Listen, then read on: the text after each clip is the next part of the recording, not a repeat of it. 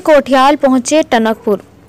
आज आम आदमी पार्टी के उत्तराखंड से मुख्यमंत्री के दावेदार कर्नल अजय कोठियाल आज चंपावत जनपद के टनकपुर नगर पहुँचे। इस मौके पर आप कार्यकर्ताओं ने कर्नल का जोरदार स्वागत किया। कर्नल कोठियाल ने चंपावत के सीमांत क्षेत्र टनकपुर पहुँच पहले रोड शो किया, जिसमें बड़ी संख्या में आप कार्यकर्ताओं ने शिरकत की। रोड शो के बाद तुलसी राम चौराहे पर जनसभा को संबोधित करते हुए उत्तराखंड में आम आदमी पार्टी की बड़ी जीत का दावा किया। साथ ही प्रदेश की दुर्दशा के लिए पूर्व की एवं वर्तमान सरकारों पर जमकर निशाना साधा, साथ ही पार्टी कार्यालय पहुंचकर सेवानिवृत्त सैनिकों के साथ संवाद किया व उनकी समस्याओं को सुना। कर्नल कोठियाल ने कहा कि पहले उत्तराखंड में दो ही पार्टी होती थी, कांग्रेस, भाजपा।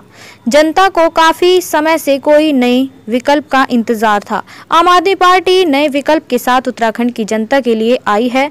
वहीं उन्होंने केदारनाथ पुनः निर्माण की उपलब्धि को भी गिनाया। साथ ही विधानसभा प्रभारी मदन सिंह मेहर की साफ़ छवि की तारीफ़ करते हुए कहा कि यहाँ की जनता से मुझे जो प्यार, सम्मान मिला है, उसे देखकर लगता है कि आगामी चुनाव में आम आदमी पार्टी की सीट यहाँ से शत प्रतिशत निकलेगी।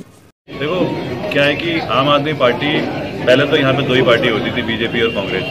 तो जनता के पास में कोई विकल्प तो था नहीं, अपना जो अधिकार है, हर इंसान चाहता है कि यूज़ करे।